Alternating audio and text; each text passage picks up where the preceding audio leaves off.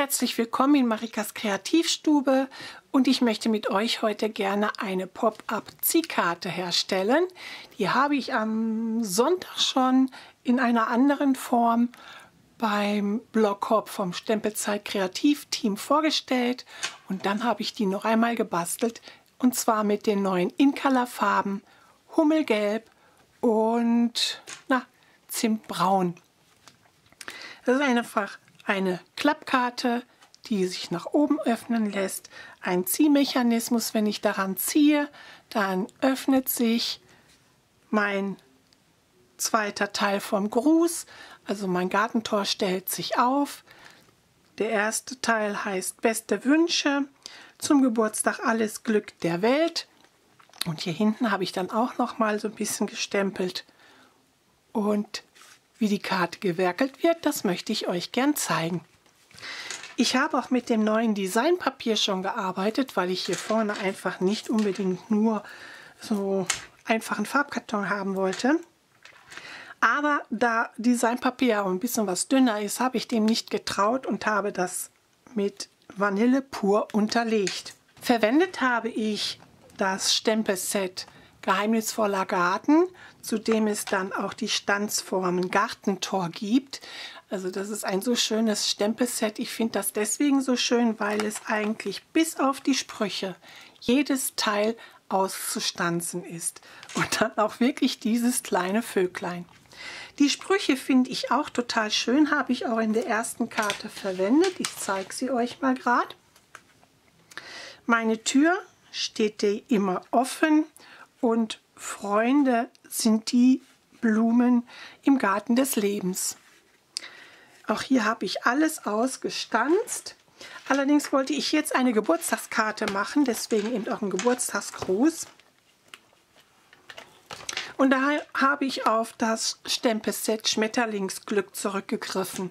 Da gibt es eben zum Geburtstag alles Glück der Welt und es startet best mit dem Spruch Beste Wünsche. Was ihr dann alles so braucht. Ich habe ja hier das Tor auch noch offen gelassen auf einer Seite.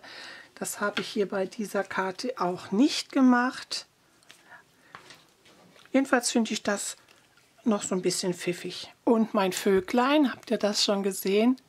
Ich finde das ja ganz apart. Und die kleine Katze liegt vor dem Gartenzaun auf der Lauer. Was ihr alles benötigt, um diese Karte auch herzustellen, das erzähle ich euch jetzt.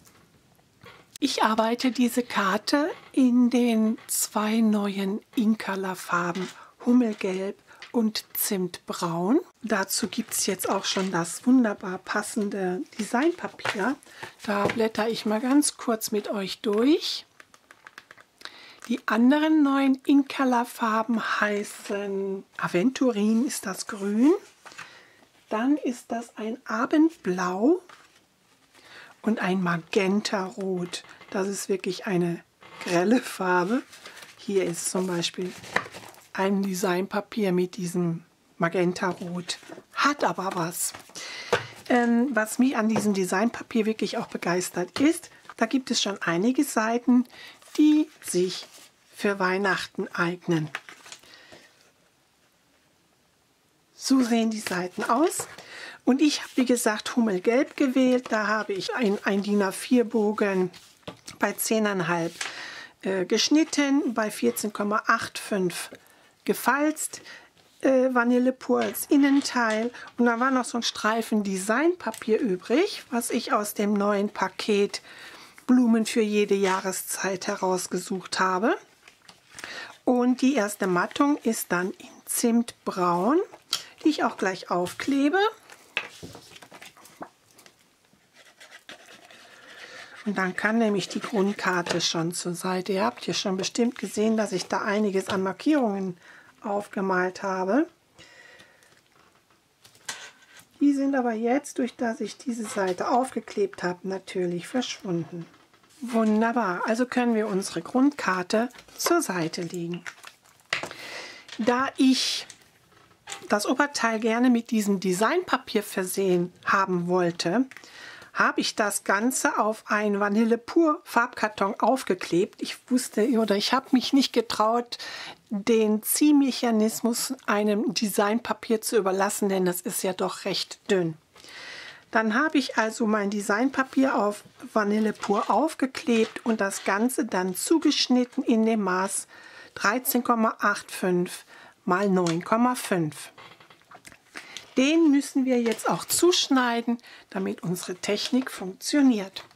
Ich habe mir hier meine Box unter mein Schneidbrett gelegt, damit ihr mm, jetzt beim Zuschneiden nicht geblendet werdet. Ich lege mein Designpapier an der rechten Seite bei 2 cm an und beginne hier bei 2 cm oder ich kann auch in der Mitte anfangen. Ich lege also meine Schneidklinge in die Mitte an und schneide nach oben bis 2 cm und nach unten bis 11,85. Dann wende ich mein Designpapier, so dass ich meinen Farbkarton wieder hier an der rechten Seite bei 2 cm anlege. Mit meiner Klinge wieder nach oben bei 2 cm aufhöre und nach unten fahre bis 11,85. Dann lege ich meinen Farbkarton mit der langen Seite an und das auch bei 2 cm jetzt auf der linken Seite und schneide hier von dieser Schneidrille bis zu der Schneidrille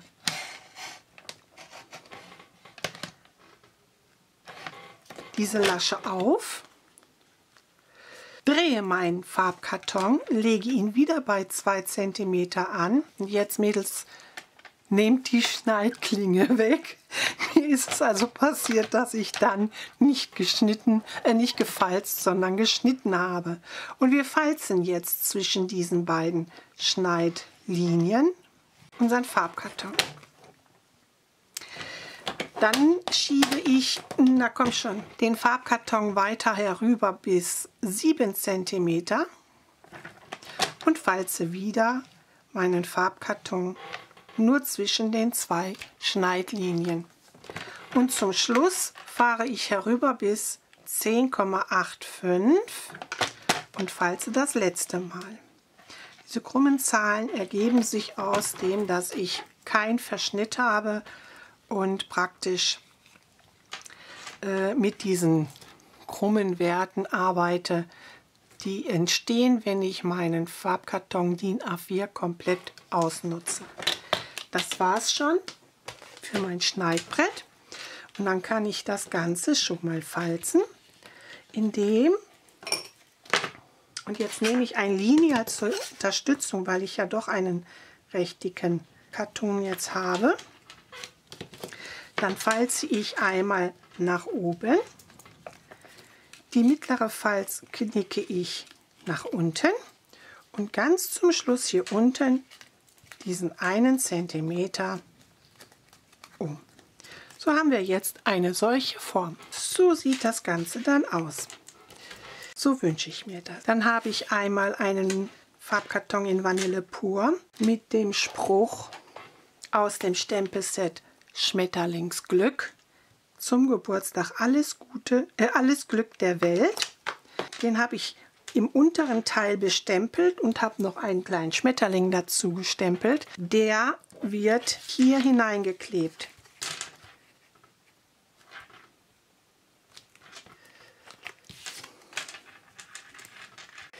Weiterhin brauche ich für meinen Ziehmechanismus einen Streifen im Maße 5,5 x 12 cm auf den ich ebenfalls Farbkarton in Vanille pur aufgeklebt habe. Das Ganze habe ich dann in die Stanze gewellte Anhänger hineingeschoben. Da muss man so ein bisschen tricksen, dass man da die Mitte trifft und habe eine Seite gestanzt. Das wird hier jetzt auf meine 1 cm Klebelasche aufgeklebt, so dass beides gut abschließt. Und zwar nur dieser eine Zentimeter.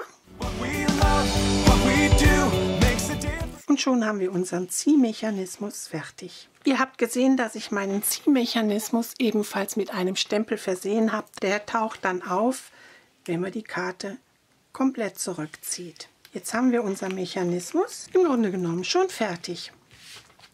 Jetzt lege ich mir das Ganze auf meine Grundkarte, ziehe meinen Mechanismus mal heraus. Da hinein kommt dann mein Etikett mit dem Spruch, der auftauchen soll, wenn ich den Ziehmechanismus anwende. Ich lege jetzt mein Designpapier auf die Karte auf und mache mir eine Markierung des Fensters, wo mein Farbkarton mit meinem Spruch aufgeklebt werden muss.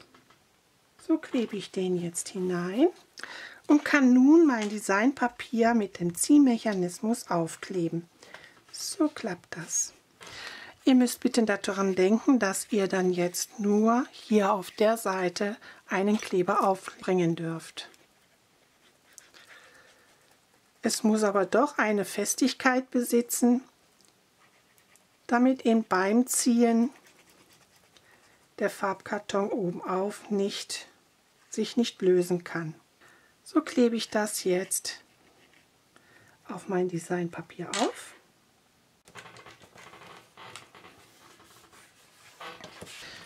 So ist es dann, wenn die Karte komplett verschlossen ist und natürlich ist dann unser Ziehmechanismus verschwunden.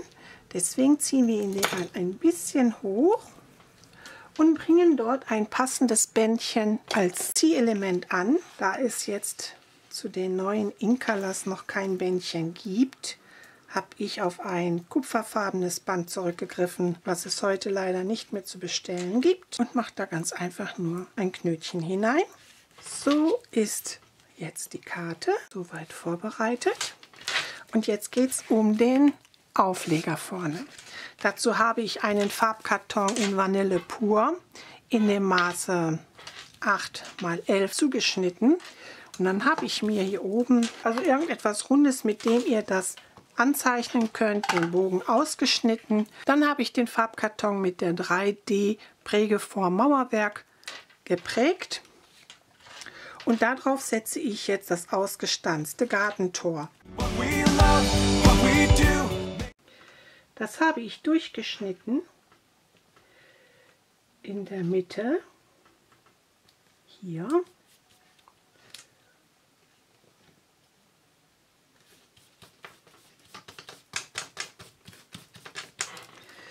damit ich das zum Schluss aufklappen kann. Und so habe ich jetzt das Tor aufgeklebt, das ich dann hier leicht geöffnet habe. Das Ganze klebe ich jetzt hier vorne, und zwar nur hier vorne, auf den Ziehmechanismus. Dazu gebe ich hier Kleber auf und setze meinen Bogen unten auf und kann ihn jetzt festkleben. So sieht das Ganze dann aus. Wir ziehen uns das. So, jetzt mache ich es nochmal zu. Wenn ich jetzt an meinem Ziehmechanismus ziehe, stellt sich das Tor auf und es kommt der schöne Spruch zum Vorschein. Soweit ist meine Karte dann fertig für die Dekoration. Und zwar habe ich hier in der Mitte, ja mein Tor hätte ein bisschen weiter nach links rüber gekonnt. Seid mir jetzt nicht böse. Wir kleben jetzt noch den Start meines Spruches, also der erste Teil. Den kleben wir jetzt frech, wie wir sind, doch in unser schiefes Tor hinein. Und dann sieht die Karte praktisch, wenn sie geschlossen ist, so aus. Mit den besten Wünschen starten wir. Ich ziehe die Karte auf und beende meinen Gruß zum Geburtstag. Alles Glück der Welt. So, nun haben wir noch unser Beiwerk. Das habe ich gestempelt, koloriert und ausgestanzt. Und das können wir jetzt in unsere Karte einpflegen. Da ist das süße Kätzchen und das kleine Vöglein. Das kleine Vöglein, da möchte ich mit starten. Das setze ich hier auf mein Gartenzaun. Also brauche ich ja jetzt wirklich nicht viel Kleber auf die Spitze von meinem Gartenzaun. So, dann setze ich hier mein Kätzchen auf. Ich ziehe gerade noch mal. Oh, sieht doch putzig aus, finde ich. Und jetzt geht es dann noch um die Dekoration an sich. Bei den beiden Teilen möchte ich gerne Dimensionals unterlegen, denn da wird der Mechanismus so ein wenig hineinfahren, herausfahren. Aber eben nur auf dem unteren Teil setze ich die Blüten auf. So ist dann diese Schnittkante verdeckt.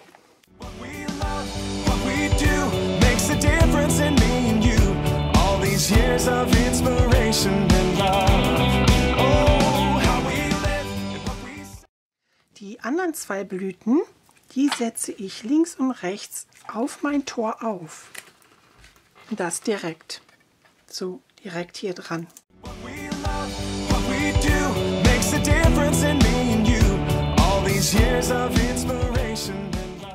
Nun habe ich hier auch die Blüten angebracht, links und rechts von meinem Tor.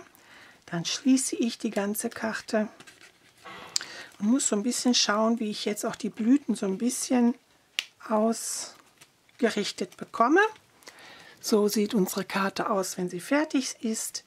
Mit den besten Wünschen zum Geburtstag. Alles Glück der Welt. Und wenn ich es noch weiter ausziehe, kommt hier oben auch noch eine Kleinigkeit heraus. Schiebt sich nach, irgendwie mit dem Schieben. Da muss ich hier so ein bisschen die Blüten anheben. Dass sich mein Schiebemechanismus unter diese Blüten schiebt. Das Ganze noch einmal. Und geschlossen ist das dann. So, bringe jetzt noch zwei, drei Strasssteinchen auf. So ist nun eine farbenprächtige Pop-up-Ziehkarte entstanden.